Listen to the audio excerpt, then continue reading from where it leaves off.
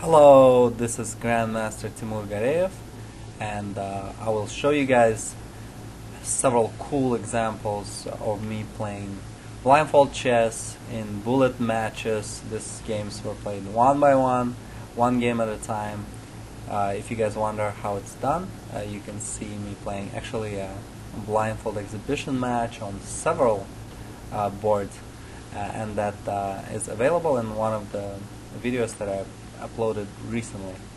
So here we go. We got an open Sicilian going on. I'm playing uh, black pieces, and this is the opening that I would recommend uh, to all of you guys watching this video.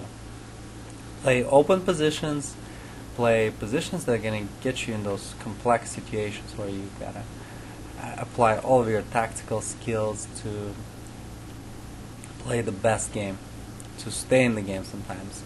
So here we go, d4, and um, this is a this is the breakthrough in the center that connects white's pieces really well, gains the advantage, engages black's uh, army immediately. So black responds with a very natural c takes d. Knight captures, knight comes out. Here's a classical uh, blunder that white could make right here. Let me switch it to uh, analysis board and we're gonna put it right about here. Let's see how that's gonna work out. Here we are. Let's continue on with our analysis. And uh, the little trick that I wanted to show you guys is um, okay at this point the knight is defending the, the square on e5 white may be tempted to go ahead and remove the knight and push for e5 attacking the knight. Now that's not a very good idea since here black is not going to be moving the knight but is going to go ahead and make this check. Capturing the pawn on e5 whatever white is uh, going to defend. Bishop d2 knight c3 the pawn on e5 is gone. Knight c3 is the natural idea. And here I decide to go for this uh, adventurous e5 so this this is not uh, my favorite move in this position.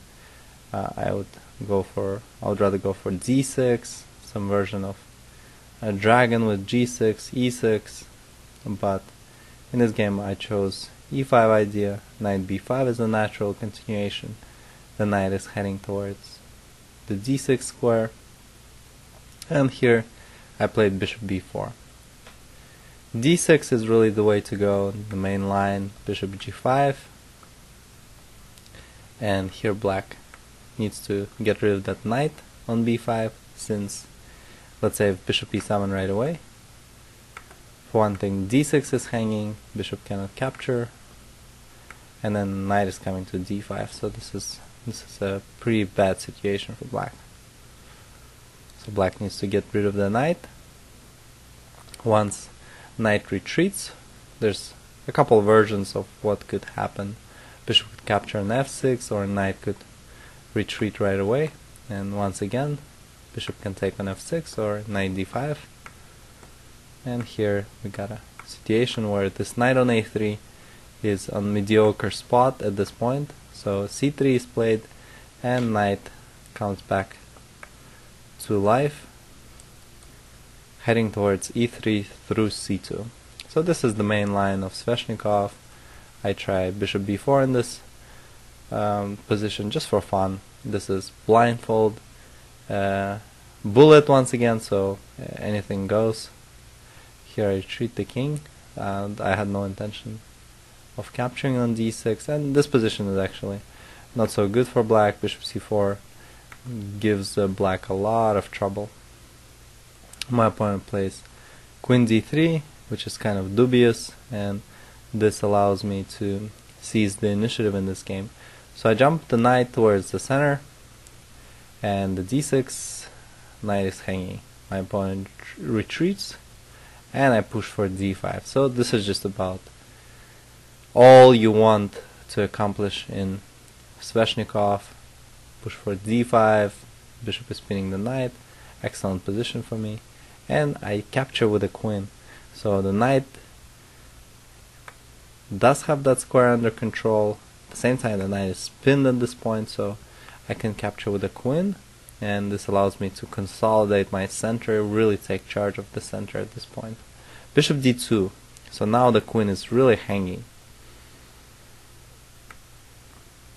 I capture the knight, my opponent takes with the bishop, and this allows me to deliver very unpleasant bishop f5.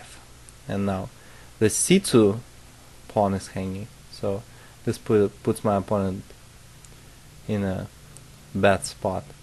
Now, knight e3 is a is an interesting idea right here. So here we go, knight e3. Uh, last move that white played, um, may, making a fork on the bishop and the queen, forces me to capture the queen. My opponent takes the queen on d5, and here, uh, obviously, big temptation and the best move to just make the fork right here towards the king. And the best thing to do is to first capture that knight, which I do. My opponent takes the bishop. I capture the rook and set a little trap right here. So if my opponent picks up that pawn on e5, I'm going to continue knight b4 and get that bishop on d3.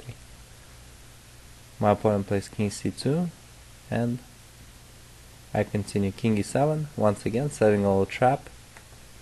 Bishop takes, knight b4. And uh, I actually win the game right here. Since my opponent resigned, I have an extra pawn on e5 and let's say rook e1, f6. And more than enough advantage to win the game. Let's take a look at the next example right here, which happened to be same opening, open Sicilian, and actually Sveshnikov.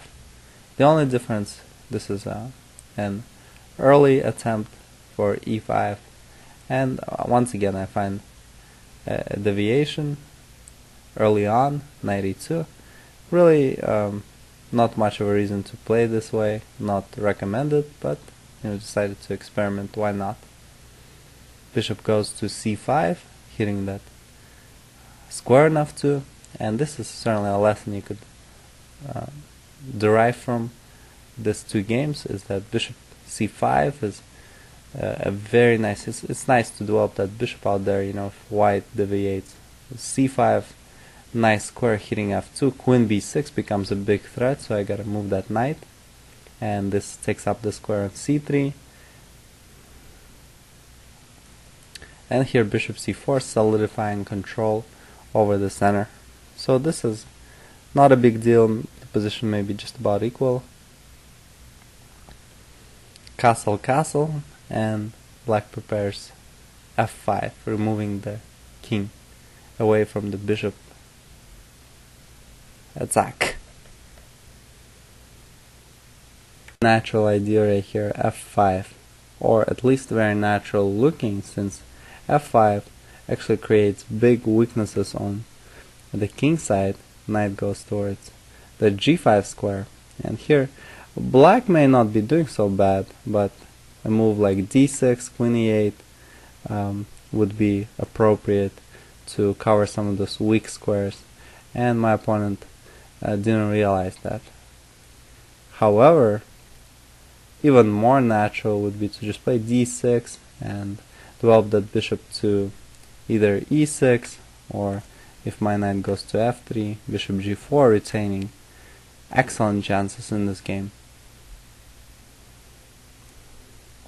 F5, knight goes towards f3, wanna go wanna jump to g5.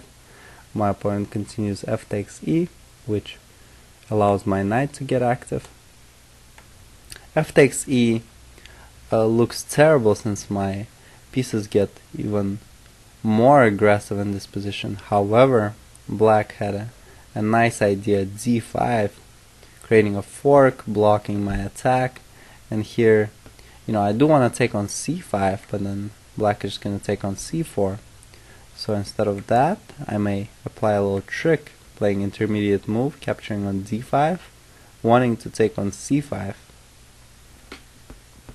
Black in turn can come up with another intermediate idea, making this check on f2 first and then capturing on d5. So this is nothing special for white. However, if the knight c5, white does retain some advantage. d5 was essential. After bishop b6, knight heads to d6, blocking black's development. The pawn cannot go to d5 anymore. The bishop cannot be developed, and white has a powerful attack coming up. Here at this point, there's no reason to pay attention to that. I actually oversaw there's there's a strong idea just to capture that pawn on e5. However, I played another strong move, knight g5, heading towards f7, and at this point it's close to impossible for black to save the game. My queen is heading towards h5. Here queen c7 was essential. After queen h5 the attack is, is very powerful. Knight f7 and uh, black is just about done in this game.